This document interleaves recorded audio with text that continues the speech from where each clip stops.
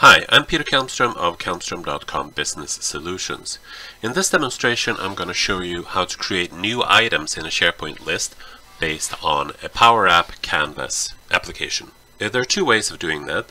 In this demo I'm going to show you how to do it with a form, which is probably the easiest way to do it. I already have a form here, the edit form here in this task details screen, but of course the new screen should be slightly different. So I'm just going to copy or duplicate that entire screen and make some modifications to it. That would be the quickest way. Of course, you can rename everything. You should rename everything here.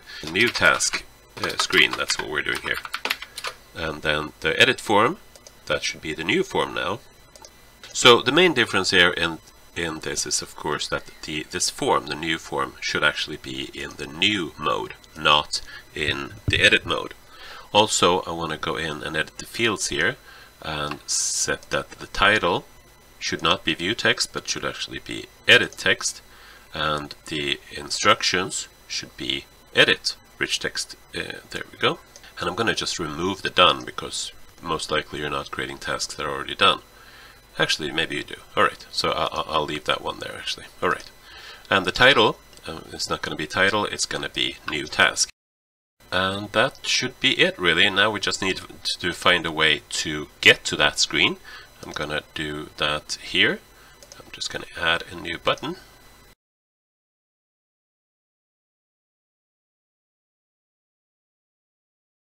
New task is what I'm gonna call that one.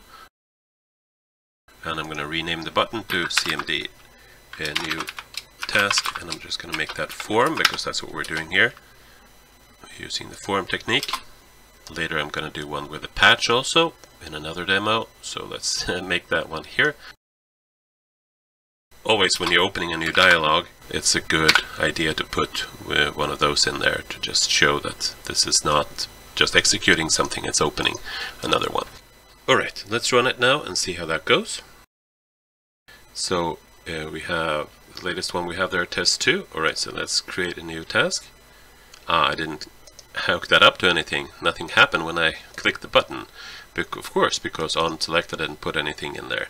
So I'm going to have to navigate, of course, to the uh, new screen. New task screen. There we go. And I like the cover transition, so let's use that one. Now let's play it again. Alright, new task form. Let's do test 3. Work fast just to show you that the rich text is working. And then we close that down, and here it is, task 3, and it's showing up fine. Notice the bug since before here that the title is not showing up there. Okay, let's fix that later. But anyhow, there you go. That's it actually. The Just to remind you what's going on here in the uh, submit button here on the new form. I did actually got that when I copied from the uh, edit form that I had before, but this just submits the form and navigates.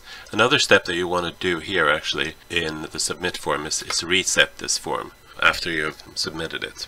Reset it to, to blank, so that's a good thing to do. Otherwise things might get a bit tricky when you jump back and forth and so on, so you want everything to be cleared.